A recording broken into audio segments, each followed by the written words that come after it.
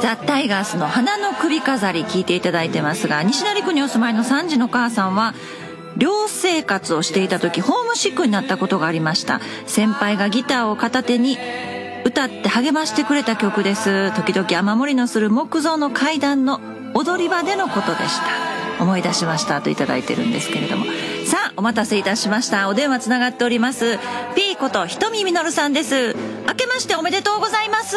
明けましておめでとうございます。昨年もいろいろとお世話になりました。ありがとうございましたこちらこそお世話になりました。ありがとうございました。こちらこそありがとうございます。やっぱりひとみさんザ・タイガースの曲っていうのは励まされた方多いんでしょうね、ああねありがたいことです。本当に。またあの昨年はひとみさんまた精力的に活動されてましたけれども。いえいえいえあのえおかげさまでなんとかね私もあの7月にお邪魔しました。舞台の方。ありがとうございました。もうすごかった。歌って踊ってはりましたもんね B さん。そうですねスタジオにはね6月にお越しいただいて。はい6月でしたね。はいお話ゆっくり伺うことができても感激でしたありがとうございました。いえいえこちらこそありがとうございます。え年末年始はどんなふうにお過ごしでしたか？年末年始っていうかまあ1週間くらいはあったんですけれども、はい、ちょっと北京の方に行って帰ってきたんですけども風もらってそして風を持って帰ってきたような感じでえー、来ねあのあの熱こそ出なかったんですけれども、はい、えー、っと喉とそれからそのなんですか鼻水が洪水のように、はい、えー、えー、大変だったんです。今はい。かがですか？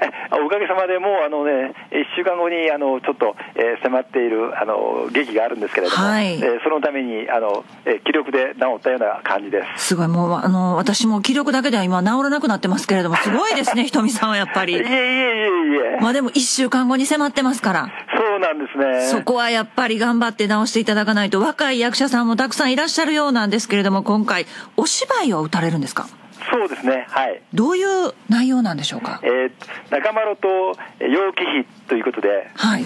大体1300年前ぐらいの話なんですけれども、えー、まあ現代とまあその奈良時代になるわけですけれども、はい、それをまあ空間的にも時間的にも、えー、まあちょっと行ったり来たりということで、えー、分かりやすい話になっております。え今聞いただけではものすごく壮大すぎて分かりやすいんだろうかって不安になりましたけど奈良のトラッコさんから頂いてるんですけど、はい、今年はお芝居に挑まれる P どんなストーリー展開になるんでしょうって言ってあります？あそうですね、えー、あのこれはまあ一応あの恋愛談なんですけども、えー、恋愛の話そしてまああの母の愛そして自分の子供の愛、えー、そして友情というようなそして共同愛って一体何なんだろうか、はい、自分の国って一体何なんだろうかっていうような、はい、そういう問いかけなんですけれども。はまあ、いろんな要素が。じゃあどんな立場の人が見ても何かしらこの共感できそうな内容でしょうか？そうですね。あのみんなそれぞれあのふるさと持ってますよね、えー、だからあの、まあ、東京の人は自分たちのふるさとはないなんてあの言いますけれども。それは東京がふるさとなんですよねなるほど。でこれふるさとを出てみてそして、まあ、例えばあの今はまあ小さなあの国外旅行なんかしますよね、はい、そうした時に自分の国のことをちょっと考えてみることありますよね、はいはい、はい、それと同じようにえー、外に出ますと自分の置かれてるものがなんか見えてくるような気がするんですけれども、えー、えー、そういうお話なんです。はい、なるほどね、はい、あの2013年に日中コラボ舞台っていうのを第一弾打たれたんですけれども、はい、今回も日中コラボなんでしょうか？あの日中っていうか、まああのえー、役者はあのみんなで8人ですか、はい、あの出ておりますけれども、えー、あの5人は中国と日本語、まあ、もちろん日本語できますよね、えー、中国語もあの流暢に話しますので、え。ー、そしてあの舞踊も中国舞踊をやっているのも、それから太極拳の、えー、その、えー、まあ、ほとんど四半紙ですけれども、えー、そういったようなものが入ってきますので、あの、うん、えー、日中が本当にコラボできてると思います。言語も、はい、あの、えー、中国語も入ってきますし、それから、はい、えー、まあ、漢文っていうか、え古文ですよね、えー、向こうの古文ですけれども、えー、そういったものも入ってきますので、えー、なんかあの、えー中国と日本のコラボレーションといって間違いないと思います。はあ、あの日本の童謡なんかもね中国語で歌われたりあそうね。舞台でねひとみさはいんされてましたけれども、はい。まあもっとこう身近に感じることができるかもしれないですね私たちも。そうですね、あのもうできるだけあの分かりやすくやっておりますね、ただしあの、古い時代のことですので、ええ。ある程度やはり史実っていうものに踏まえると、はい。えーそこからあの多少の説明は入りますけれども、えええーまあ、風間森夫さんにやっていただいて、えーあのその辺ははい。やっぱり、あの僕なんかよりかはるかにはるかに声があ、えーいい方なので、あらそうかしらえーそうでしょうファンの皆さん。ああそうですか。はい。あのえっ、とねこちらラジオネームなんあえ、はい。ペペペテラビタママさんという方からいただいてるんですけれども。はい質問です。最近タイガースのメンバーと交流はありますか？といただいてるんですけれども。そうですね、最近は、あの去年6月からあのえーライブやった時には、あのずいぶんあの森本太郎はい。に、あのアドバイスあのしてもらって、ええ。それ以外のメンバー、ちょっとね、僕もなんかあのバタバタバタバタして行き違いで、ええ。えー会ってないんですよ。北京に行ってらっしゃったりしますからね、ひとみさんの場合は。ねえ。ーええ。なんかね、あのあ会わないので、はい。やまたね、会いたいなとは思ってるんですけれども、ねえなかなかはい。皆さんがスケジュール合うって難しいですもんね。そうですね、はいなかなか忙しい人もあの結構いますので、さあ、はい、一週間後に迫りました。このはいタイトルが、中丸と楊貴妃と。はい、っていうタイトルなんで、これ中丸と楊貴妃が恋愛しはるんですかね？そうですね、あのまあ、あの同時代、同一空間にいたわけですから、はい。ああっておかしくない話なんですね。でもともと、まああのね、陽気って言ったら、あの幻想皇帝と,、はい。というそのロマンということを言われておりますけれども、まあ、でも幻想皇帝は皇帝で、えーその陽気妃は、えーね、いあの庶民ですから、はい。あのそういうことで言えば、あーちょっとやっぱりあのこう、えー階級的に差はあるというね。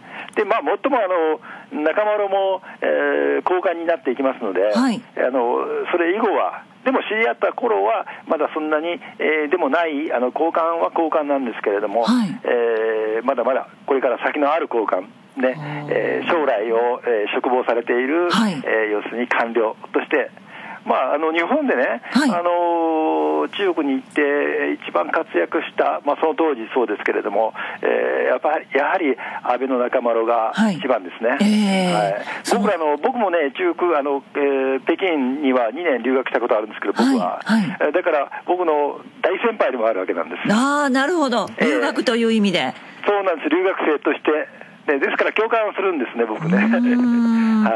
あの皆さんもそれで共感していただけるとありがたいなと思っておりますけれど、はい。はい。ひとみさんも舞台で、ひとみさん何の役されるんですか？え僕はね、安倍の中丸の友人である、えー、吉備の真備の役をやります。霧の巻き火って習いましたね、学校でそういえば。ええあの一緒にあの中国に行ったあの、ええ。仲間として、はい、ぜひ皆さん。え仲間よりか、あー若干年上なんですけれども、はい、そうなんですね。はい。えーさて、えーまず東京から始まります。1月28日が初日なので、今はいこれを、に、あの、風邪を直して、コンディションを整えていらっしゃるということなんですけれども、はい大阪では2月の5日木曜日、はい午後6時30分開演で、はい1回公演です。そうなんですねえー天満橋にありますドーンセンターというところで行われるんですけれども、はいこちらのチケットをいただきました。ありがとうございます。いいえ、とんでもございません。5組10名様。はいぜひ皆さんお出かけいただきたいと思いますが、もしチケットが当たればね、当たったチケットでいらっしゃっていただいてもいいですし、はい外れちゃったわという方、いや、ひとみさんの舞台なら私はお金出していくんだという方も多いと思いますので、あの楽しめるあの舞台なので、ええぜひぜひ来ていただきたいですね。2月5日木曜日です。午後6時30分開演。場所は大阪天満橋のドーンセンターホールです。ぜひ皆さんお出かけいただきたいと思います。えチケットプレゼントの方はおはがきで番組宛てにチケット希望、チケット希望とお書きいただいてお寄せいただきたいと思います。郵便番号552-8501ラジオ大阪高岡美希の別品ラジオ。チケット希望とお書き添えの上お申し込みいただきたいと思います。さあ、流れてきましたのは、 Dreaming of Home and Mother、晩秋という曲なんですが、はい。これはあの、日本の晩秋ですか？そう、旅愁っていう曲。あ、そうかそうか。はい、はい。その詩を変えまして、僕のあの、えー詩、そして中国の詩も作りまして、はいそして英語と三カ国語で歌ってます。三カ国語で。はい。あの英語本で勉強するよりこうやって勉強した方がいいかもしれないです、ね、そうかもしれませんけれども僕はあんまりうまくならないのでいえいえいえ、えー、あの舞台の中では曲は流れるんですか？歌は歌ったりされるんでしょうか？あの歌ったりもしますしそれから監視の、えー、原文での、えー、朗読つまり北京語になりますけれども、はい、中国語で朗読、えー、そして、えー、日本語でのあの漢文訓読というようなもうでも漢文的なだけでちょっともうなんかあちょっと難しいっていうあの一瞬思いました、はい、ありますよね、はい、あのそういうことは一切僕ないと思います。あぜひじゃあ皆さん、えー、あの安心してお出かけいただきたいと思います。そうですね。2月の5日木曜日です。中諸と陽気比簡単の夢枕。ぜひお出かけください。ひとみさんあの風気をつけてくださいってあのリスナーの方からも頂いてますのでくれぐれも体調整えていただいて。高岡さんも、ありがとうございます。はい、はい、どうもありがとうがとうございました。失礼いたします。お忙しいところありがとうございました。ありがとうございました。ひとみみのるさんにお話伺いました